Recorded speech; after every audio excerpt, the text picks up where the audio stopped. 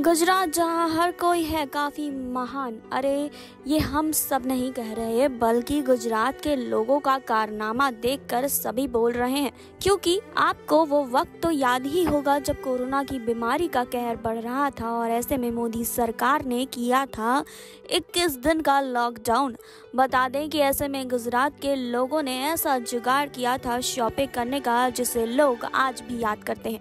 दरअसल रोज़ाना का सामान तो हर किसी की ज़रूरत है। और तब गुजरात के लोगों ने दुकान से सामान लेने के लिए सड़क पर हर जगह बना दिए थे गोले के निशान, जहाँ हर एक गोले की दूरी के साथ सबका ख्याल भी रखा गया बीमारी के साथ। पीएम मोदी ने कहा कि हिंदुस्तान को बचाने के लिए, हर नागरिक को बचाने के लिए, आपके परिवार को बचाने के लिए घरों से बाहर निकलने पर पूरी तरह से पाबंदी लगा दी गई थी। जी हाँ वहीं देश के हर राज्य को हर केंद्र शासित प्रदेश गली मोहल्ले को लॉकडाउन में डाला गया था। यहाँ आपको बता दें कि इसके बाद लोगों को शॉपिंग कैसे करनी है, इसका एक अलग जुगाड़ कर लिया। गोला बनाकर एक दूसरे से सोशल डिस्टेंसिंग मेंटेन करके तब शॉपिंग करना शुरू किया।